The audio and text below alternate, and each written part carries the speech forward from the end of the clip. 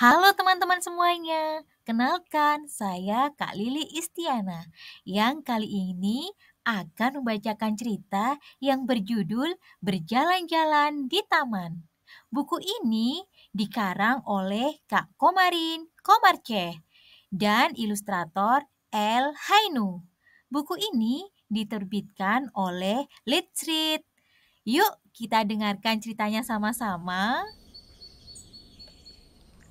Ini adalah Sophia, si anak lelaki.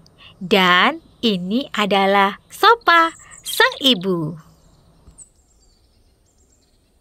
Mereka berjalan-jalan di taman.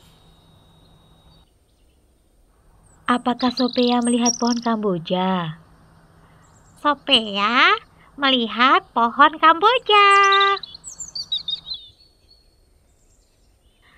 Sophia dan ibunya menghitung pohon kamboja. Satu, dua. Apakah Sophia melihat burung? Sophia melihat burung. Sophia dan ibunya menghitung burung. Satu, dua, tiga.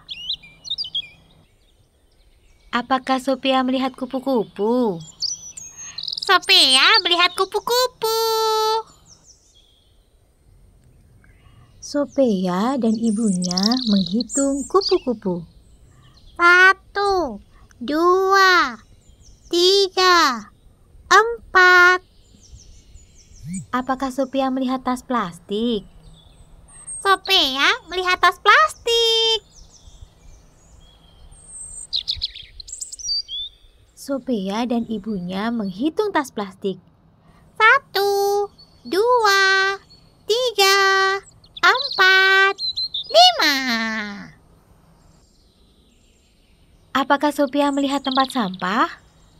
Sophia melihat tempat sampah. Sophia memasukkan tas-tas plastik ke dalam tempat sampah.